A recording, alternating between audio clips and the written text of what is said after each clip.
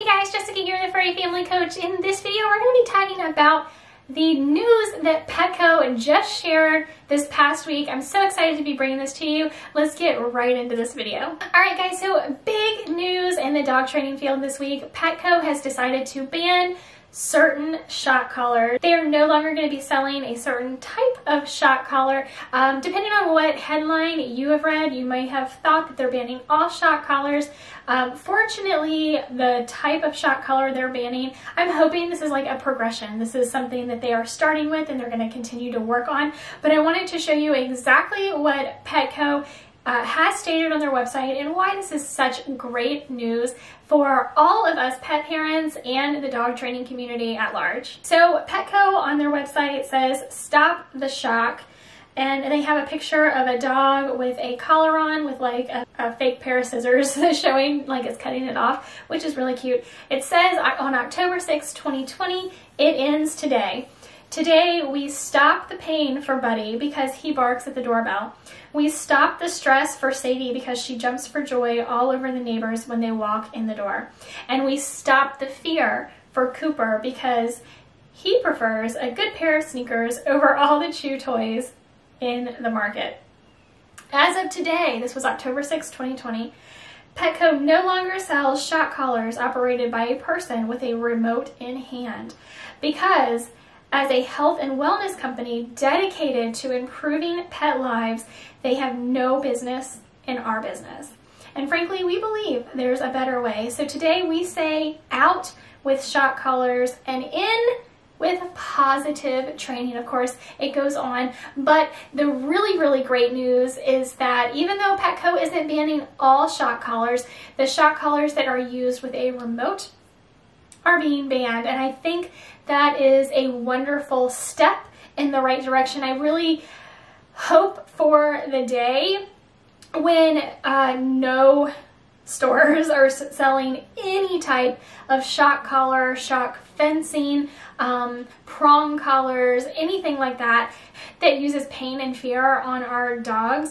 Um, I really, really hope for that day one day soon. But the really good news is that uh, Petco right now today is no longer selling the type of shock collar that you use with a in-hand remote. Um, I'm really over the moon ecstatic about this. Of course, I do, you know, as someone who understands how detrimental these types of training devices are on our pets and the relationship we have with our pets. I do hope that Petco continues in this light to really promote more positive training methods because as we know and as I have said many many times on this channel and entire videos dedicated to this we know that the only scientific proven way to really alter our dog's behavior for the better is with positive reinforcement.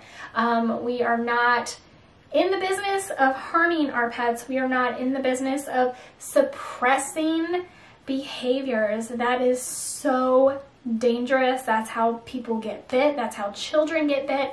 We don't want that happening, right? We don't want our dogs to be in pain. We don't want our dogs to live in fear. We want a healthy, happy, harmonious home uh, with us and our pets, and positive reinforcement training is the only proven way to get there, the only science-backed, the only scientific way to get to that state with our pets. And so I'm really happy that Petco is really stepping up their game because as a business, right, the bottom line is the bottom line. Where are they making their money? And you know, maybe they've seen a decline in those sales, so it was just easier for them to say, we'll use this as a PR move. Whatever it was, I don't know. Hopefully they, they looked at what they were selling and they looked at their mission statement and they said, these don't align. That's my hope. Uh, because if that's the case, if they looked at the products they were selling and they looked at their mission statement and saw they were not in alignment, which was true a week ago, um, if that's the case, then this is just one step to e even bigger things happening, um, not just at Petco, but hopefully in the pet industry as a whole. Because like I said, positive reinforcement training really is the way to go. And if you have been following me for any length of time, you know that to be true. I will go back to the Petco article, which also says, today we encourage anyone using or looking for shock collars to consider training with treats instead of electricity and partnership instead of pain. Today, we stop the shock. Hashtag stop the shock, which I think is wonderful. Let's get this hashtag trending. I'm going to include it in this video. If you are currently using a shock collar,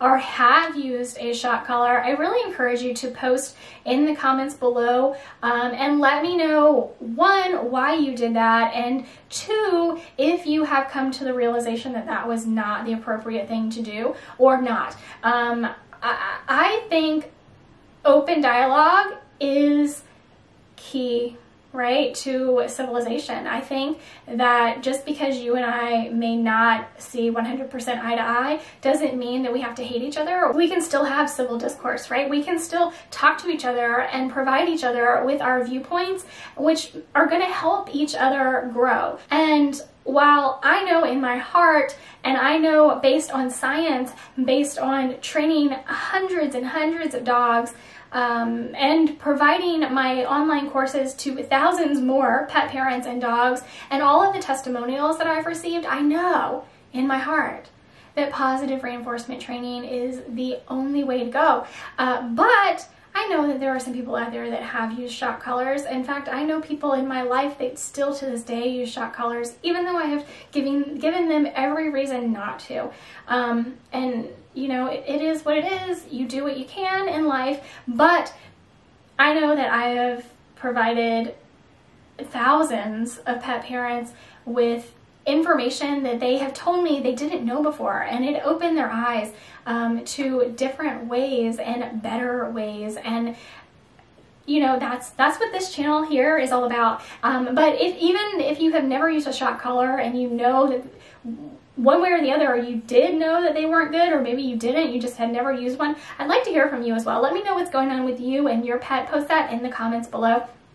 Um, I also want to encourage you to join the group, which there is a link for in the description. There are so many links in the description of this video, but I'm going to go through them really quickly. There's the beginner dog training series right here on YouTube. I definitely recommend that you check that out go through whether you have done training with your dog and maybe stopped and didn't get through everything you wanted to do, or if you've never done any training with your dog, I highly recommend you go through that playlist here on YouTube with your dog. It's definitely going to help build that bond with you and your dog. Join the group, join the family. There are thousands of other pet parents in the group just waiting for you to join, as well as myself. You can share pictures, share videos, you can ask questions, you can help others by answering questions. I don't know what you're waiting for. Go ahead and join the group. We're all waiting for you.